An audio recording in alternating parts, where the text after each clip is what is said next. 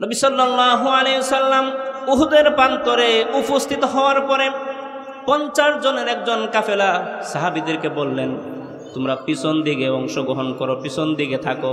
এই যে গিরিপথ দেখাই দিলাম, এই গিরিপথে থাকো। পরবর্তী নির্দেশনা না দেওয়া পর্যন্ত, পরবর্তী নির্দেশনা না দেওয়া পর্যন্ত তোমরা এখান থেকে সরবানা। যুদ্ধ শুরু হয়ে গেল। তুমিও যুদ্ধ শুরু হয়ে গেল। নবীজির চাষা আমির হামজা হয়ে যুদ্ধে অংশগ্রহণ করলেন। যুদ্ধে এক পর্যায়ে আমির হামজা শহীদ হয়ে গেলেন। কেমন শহীদ হলেন? আমির হামজার পিছন থেকে তীর মারার পরে সামনের দিকে তীরটা বেরিয়ে গেল। বেরিয়ে যাওয়ার পরে ফিলকে দিয়ে রক্ত বের হতে লাগল। আমির হামজা মাটিতে লুটিয়ে পড়লেন।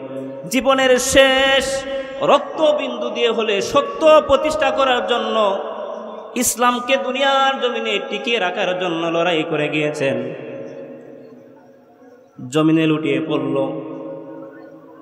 এমন সময় আবু সুফিয়ানের স্ত্রী হিন্দাম, নবীজির চাচা আমির হামজার বুকের উপরে বেশে বসার পরে তার কলিজাতে টান দিয়ে বের করল।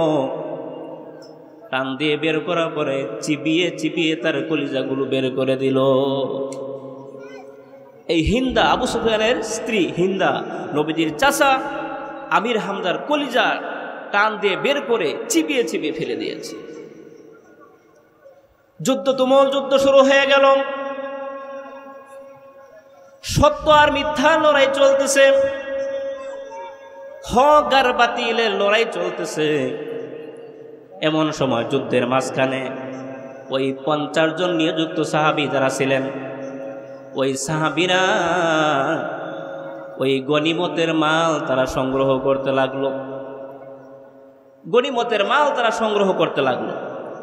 নবী সাল্লাল্লাহু আলী সাল্লামের নির্দেশনা না মেনেই তারা গনিমতের মাল সংগ্রহ করতে লাগল। কথা ছিল কি? যে পরবর্তী নির্দেশনা না দেওয়া পর্যন্ত তোমরা জায়গা থেকে সরবানা কিন্তু কি করল? তারা গনিমতের মাল সংগ্রহ করতে লাগল। এমন সময় খালিদ বিন ওয়ালিদ তখনও ইসলাম ধর্ম গ্রহণ করে নাই। ইসলাম ধর্ম গ্রহণ করে নাই, যখন দেখল পিছন থেকে পঞ্চাশ জনের কাফেলা সরে গিয়েছে। আক্রমণ করার এই তো সুযোগ। খালিদ বিন ওয়ালিদের নেতৃত্বে পিছন থেকে আক্রমণ করল।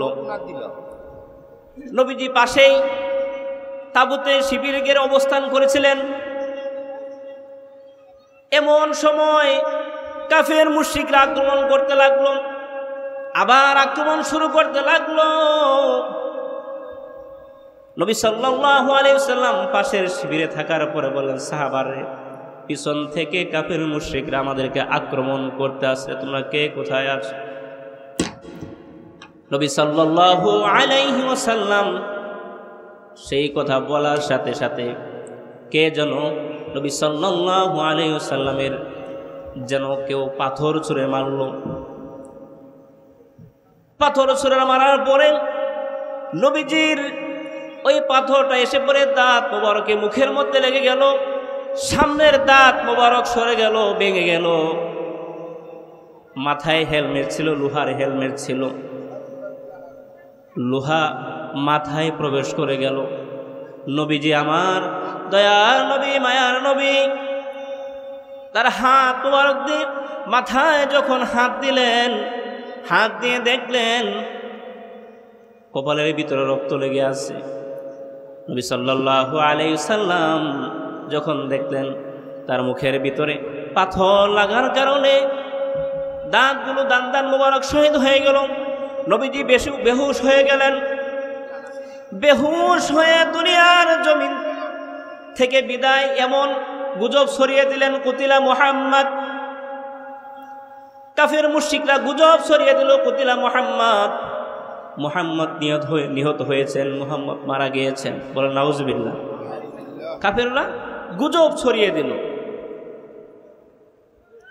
কাফেররা গুজব ছড়িয়ে দিল, কুতিলা মোহাম্মদ মোহাম্মদ শহীদ হয়েছে, মোহাম্মদ মারা গিয়েছে।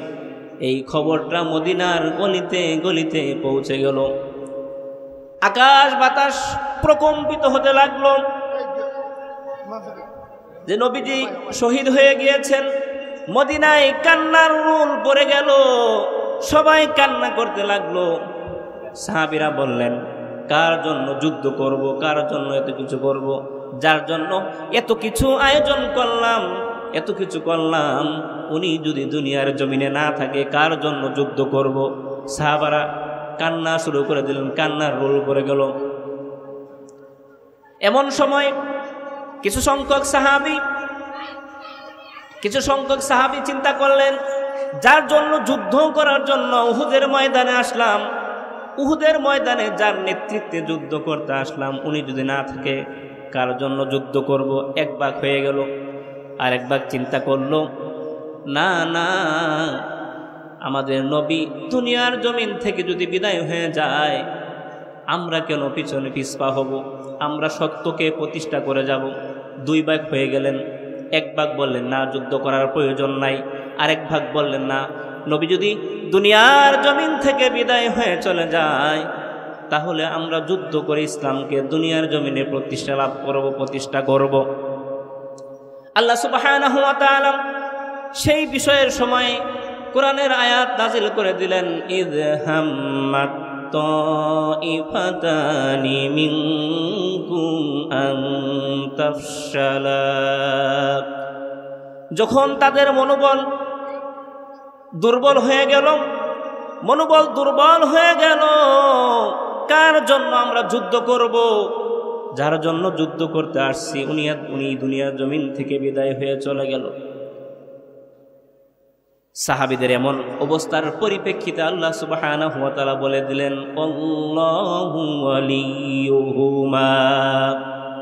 তাদের মনোবল শক্ত করার জন্য আল্লাহ সুবাহ বলে দিলেন, আল্লাহ তাদের অভিভাবক হয়ে গেলেন আল্লাহ তাদের গার্ডিয়ান হয়ে গেলেন, অভিভাবক হয়ে গেলেন। ও আদাল্লাহি ফালিয়াতাওয়াক্কালিল মুমিনরা ভরসা করবে একজনের প্রতি, চিল্লায় বলেন, তিনি কে? মুমিন সবসময় আল্লাহর প্রতি ভরসা করবে। নবী সাল্লামের এমন খবর, মদিনার অলিতে গলিতে যখন খবরটা ছড়িয়ে পড়ল, এমন সময় একজন মহিলা সাহাবি নুসাইবা ইবনে কাপ তার কানের ভিতরেই সংবাদ চলে গেল। নবীজি শহীদ হয়েছেন, আর ঘরের ভিতরে থাকতে পারলেন না। মহিলা ঘর থেকে বের হয়ে গেলেন। বের হয়ে দৌড় দিলেন হুদের ময়দানের দিকে। কেমন ভালোবাসা, কেমন মহাব্বত ছিল নবীর জন্য। কেমন মহাব্বত ছিল, কেমন ভালোবাসা ছিল, একটু চিন্তা করে দেখেন। যখন দৌড় দিয়ে আসলেন, সাহাবারা প্রশ্ন করলেন, ও মহিলা, কোথায় যাচ্ছ? মহিলা বলেন উহুদের ময়দানে যাচ্ছি। সাহাবা বলেন, তোমার ভাই শহীদ হয়েছে উহুদের ময়দানে। মহিলা বলেন, ও আল্লাহর নবীর সাহাবি, ভাই শহীদ হয়েছে, কে শহীদ হয়েছে আমি জানতে চাই না। আমাকে জলদি করে বলো, দয়ার নবী কেমন আছে? চিন্তা করছেন কেমন ভালোবাসা? রাসলের ভালোবাসা ছাড়া কখনোই পরিপূর্ণ ইমানদার দাবি করা যায় না। রাসুলের সীমাহীন ভালোবাসা ছাড়া ইমানের এতটুকু নেই, দাম নেই। রাসুলের সীমাহীন ভালোবাসা ছাড়া ইমানের এতটুকু নেই, দাম নেই। ঠিক কিনা? মহিলা বললেন, সাহাবা, ওগো আল্লাহ নবীন সাহাবি, আমার ভাই শহীদ হয়েছে, কে শহীদ হয়েছে আমি শুনতে চাই না। আমাকে জলদি করে বলো, দয়ার নবী কেমন আছে? কিছু সময় যাওয়ার পরে একজন সাহাবার সঙ্গে আবার দেখা হলো। সাহাবা বলেন, ও মহিলা, কোথায় যাও? বলল, উহুদের ময়দানে যাই, উহুদের ময়দানে যাচ্ছি আমি। বললে, যে কি করবা? তোমার স্বামী শহীদ হয়েছে। মহিলা বলে, কে শহীদ হয়েছে আমি শুনতে চাই না। আমাকে জলদি করে বলো, দয়ার নবী কেমন আছে? চিন্তা করছেন কেমন মোহাব্বত? এই জন্য আল্লাহ সুবাহ বলেন ইন কুনতুম তুহিব্বুনাল্লাহা ফাত্তাবিউনি ইউহিব্বুকুমুল্লাহ ওয়া ইয়াগফির লাকুম যুনুবাকুম ওয়াল্লাহু গফুরুর রহিম আল্লাহ সুবহানাহু ওয়া তাআলা হাক্কার হাবিবকে বলে দিলেন ওগো আমার হাবিব আপনি তাম পৃথিবীর মানুষদেরকে বলে দেন আমি আল্লাহকে কেউ যদি ভালোবাসতে চায় ইনকুন তুম তো আমি আল্লাহকে যারা ভালোবাসতে চায়, তারা যেন আপনার অনুসরণ অনুকরণ করে ফাত্তাবি অনি আপনার অনুসরণ অনুকরণ করে, আপনার সব বিধান আদর্শ যেন তাদের জীবনে মেনে নেয়। তারা যদি তাদের রসুলের আদর্শ, রসুলের অনুসরণ অনুকরণ করতে পারে, ফাত্তাবিউনি হাবিবুকুমুল্লাহ আমি আল্লাহ তাআলা তাদেরকে ভালোবাসবো। সুবহান আল্লাহকে কেউ যদি ভালোবাসতে চায়, তাহলে নবীর অনুসরণ, অনুকরণ করা দরকার আছে না নাই? ভালোবাসার কথা বলেন নাই। কি বলছেন? অনুসরণ করার কথা।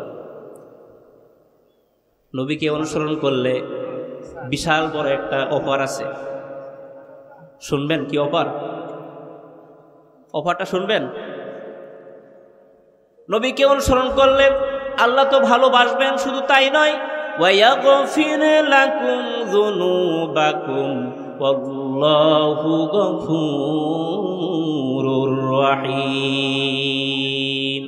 কেউ যদি আমার নবীকে অনুসরণ, অনুকরণ করে আমি আল্লাহ সুবহানাহু ওয়া তাআলা তাদেরকে ভালোবাসবো। শুধু তাই নয়, তাদের জীবনের সকল গুণাগুলো মাফ করে দিব। জীবনের সকল গুণাগুলো মাফ করে দিব। কেমন মহাব্বত ছিল নবীর প্রতি? কেমন ভালোবাসা ছিল? বলতেছিলাম, আর কিছু সময় যাওয়ার পরে, কিছু সময় যাওয়ার পরে মহিলাকে সাহাবা প্রশ্ন করল ও মহিলা কোথায় যাও? বল উহুদের ময়দানে যাচ্ছি। যে যে লাভ হবে না তোমার ছেলে শহীদ হয়েছে। মহিলা বলেন কে শহীদ হয়েছে? আমি জানতে চাই না আমি শুনতে চাই না। আমাকে জলদি করে বলো দয়ার নবী কেমন আছে? মহিলা দৌড়াইয়া উহুদের ময়দানে উপস্থিত হয়ে গেলেন। গিয়ে দেখলেন নবীজি বেহুশ হয়ে জমিনে পড়ে আছে। সাহাবারা তাকে গিরে রেখে আছে। ওই মহিলা নবীজিকে দেখার পরে বললেন, ইয়া আল্লাহ ইয়া হাবিব আল্লাহ আমার ছেলে শহীদ হয়েছে, ভাই শহীদ হয়েছে, স্বামী শহীদ হয়েছে। আমার আফসোস লাগে না, কষ্ট লাগে না। আপনি জীবিত আছেন, এটা দেখে আমার হৃদয়ে প্রশান্তি লেগে গেল। আপনি জীবিত আছেন আমার সন্তান শহীদ হয়েছে, আমার স্বামী শহীদ হয়েছে, আমার কোনো আফসোস নাই। আপনি জীবিত আছেন, এতেই আমি খুশি।